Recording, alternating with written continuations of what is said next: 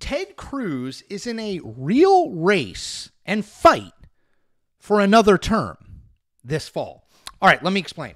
So, on Tuesday, the Cook Political Report with Amy Walter, which is the most prominent political handicapping, uh, nonpartisan political handicapping site in the country, moved the Texas Senate race, where Cruz is uh, running for another term, from likely Republican to lean Republican. Now, it's not in their toss up category yet, but in lean Republican, which suggests the race is getting closer.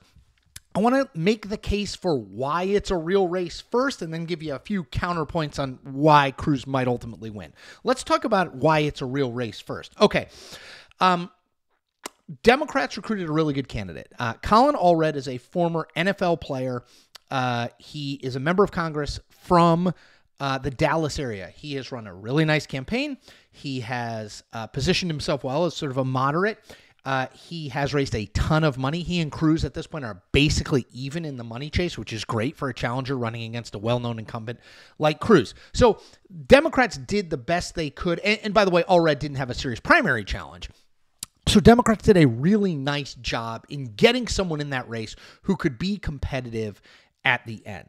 All right, so that's point one. Point two Texas is not, Texas of 2024 is not Texas of 2012 or Texas of 2008. The state is slowly but surely getting more friendly toward Democrats. So in 2016, Donald Trump won Texas by nine points.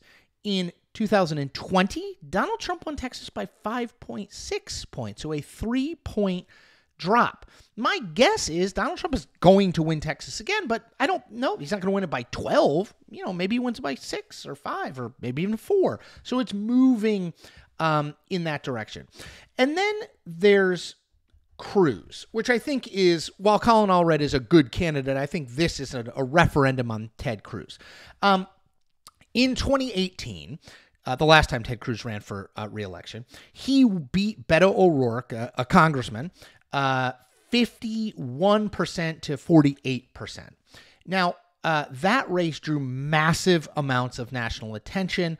O'Rourke was seen as a potential future Democratic national uh, candidate. He actually, he O'Rourke actually outspent Cruz 74 million to 40 million in that race. Now he came close, but Ted Cruz won. You only got to win by one to win.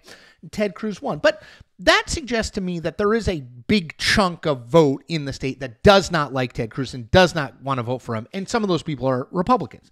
So, what's changed in between now, and then, and now? The big thing, and if you forgot this, I'm going to remind you. In February 2021, Texas was hit with a huge ice storm and huge cold snap.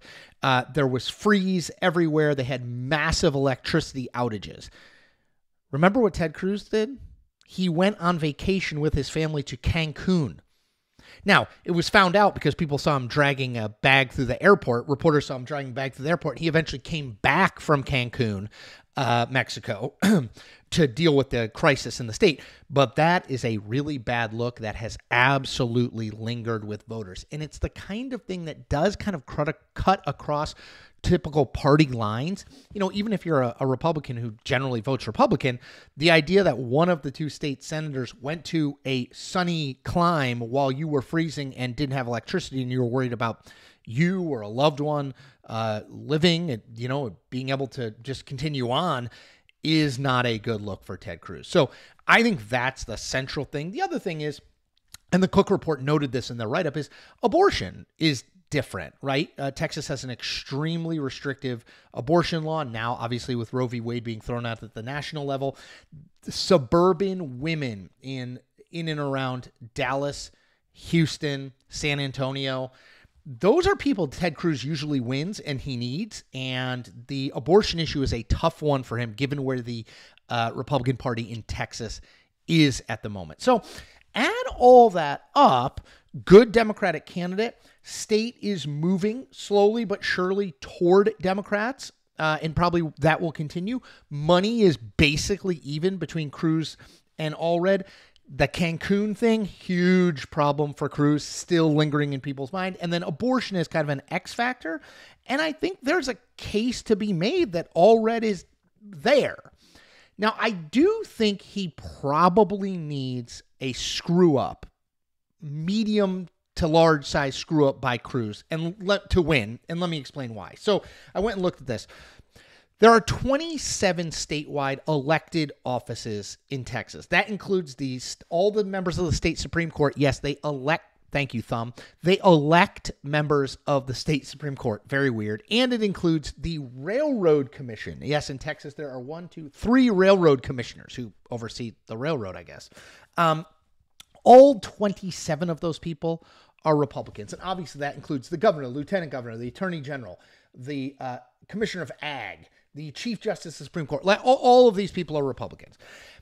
And what does that tell you? Well, it tells you that it's still a pretty Republican state. Yes, it's moving a little bit away from Republicans and more to Democrats, but it's still a pretty Republican state. And then there's the fact that it's a presidential year. So 2018 was a midterm election, lower turnout. Uh, that is, uh, you know, so in a state that's friendly to Republicans, lower turnout means less Republicans wind up voting.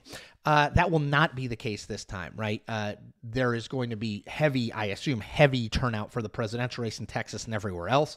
Um, that will drive most rank and file Republicans to the polls, and most of them are going to be Ted Cruz voters. The real question is how many aren't.